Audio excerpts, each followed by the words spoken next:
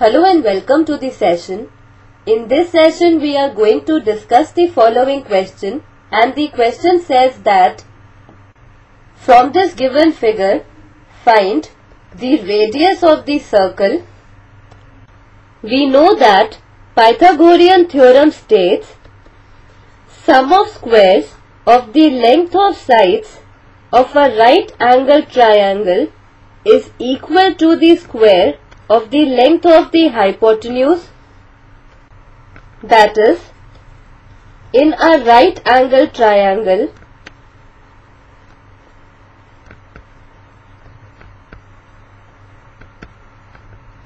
with hypotenuse C and sides A and B we have C square is equal to A square plus B square.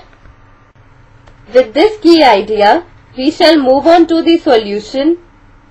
In this question, we are given a circle on a coordinate plane with a line segment of length 16 units. We have to find the radius of the circle. Now let us label the points on the circle. Here O is the center of the circle. Let this point be M and this point be P such that MP is equal to 16 units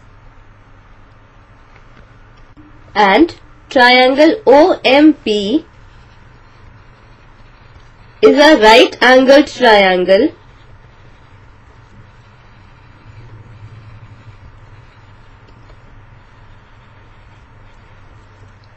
we know that any line from center of the circle to the point lying on the circle is equal to radius.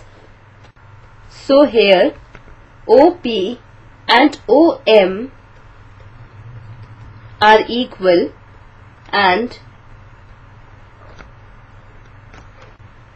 and both are the radii of the circle also, triangle OMP is a right angled triangle, right angled at point O.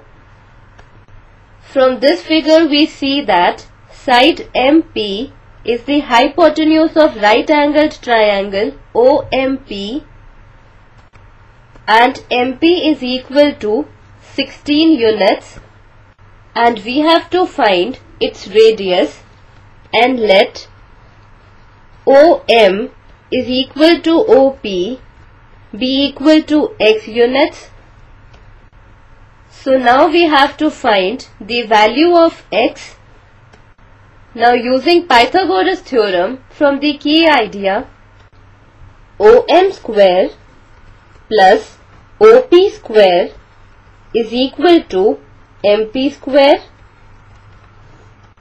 that is OM square that is x square plus OP square that is also equal to x square is equal to MP square that is 16 square which implies that x square plus x square is 2x square which is equal to 16 square that is 256 which implies that x square is equal to 256 by 2 that is x square is equal to 128.